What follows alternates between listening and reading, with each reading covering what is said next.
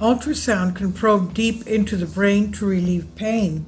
Scientists find treating pain in the brain is not easy, what with it being essential for everything we think and do, but a newly developed non invasive method of using ultrasound is showing particular promise, as outlined in a published study.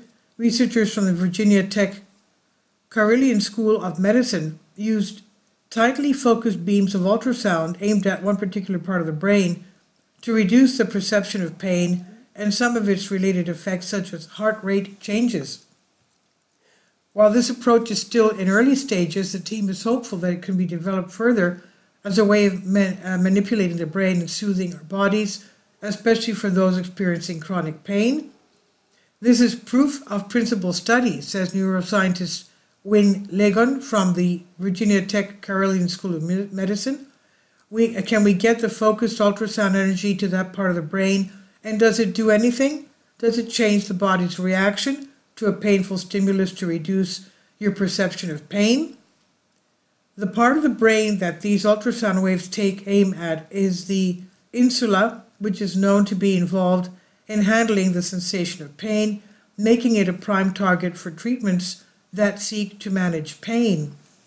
The insula is buried deep in the brain, though, which is where ultrasound comes in. These narrow bands of sound waves can be precisely targeted and adjusted, and plenty of previous research has looked at their potential to impact the brain. This is the first time that it's been tried on the insula.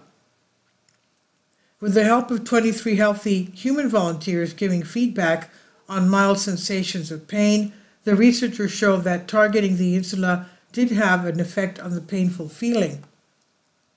Rather than just masking the pain, though, it seemed to benefit the body in other ways, including increasing heart rate variability, a measure of the variation in time between each heartbeat, which has been linked to pain sensitivity. Your heart is not a metronome, says Legon. The time between your heartbeats is irregular and that's a good thing, increasing the body's ability to deal with and response to pain, respond to pain may be an important means of reducing disease burden. Future research could look at the way the heart and the brain interact with each other when a person is experiencing pain.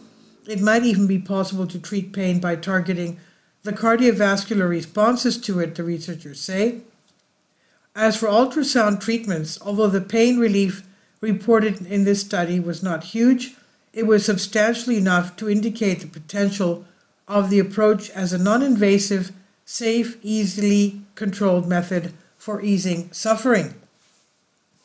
It could make a significant difference in quality of life or being able to manage chronic pain with over the counter medications, medicines instead of prescrip- uh, prescription opioids, uh, says Legon.